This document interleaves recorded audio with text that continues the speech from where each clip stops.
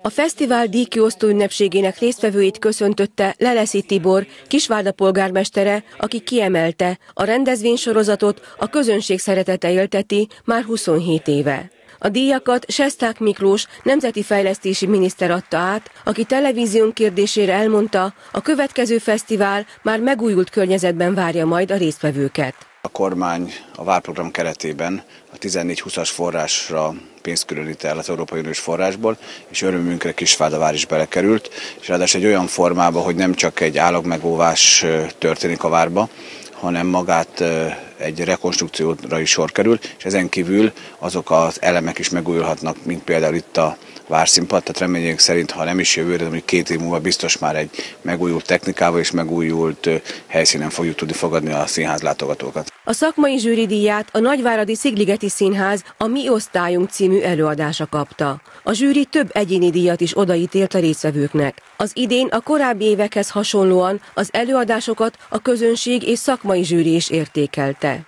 A fesztivál egy roppant igényes válogatás alapján jött létre.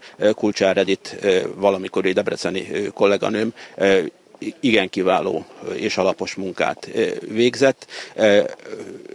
Sok értékes előadás volt, és kevés díj több díjat is ki tudtunk volna osztani. Az Emberi Erőforrások Minisztériuma két művésznek adományozott életműdíjat. Dobrekótai Judit, díszlet és jelmeztervező, a romániai színházi élet kimagasló egyénisége, stílus és szemlélet meghatározó alkotásaiért részesült az elismerésben.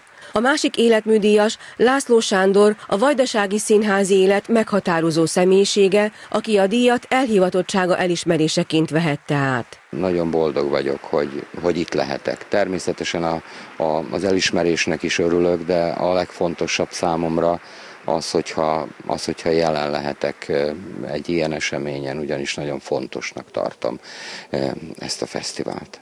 A díjak átadását követően Udvaros Dorottya Majdnem Valaki című lemezbemutató koncertjét láthatta a közönség a Kisvádai Várszínpadon.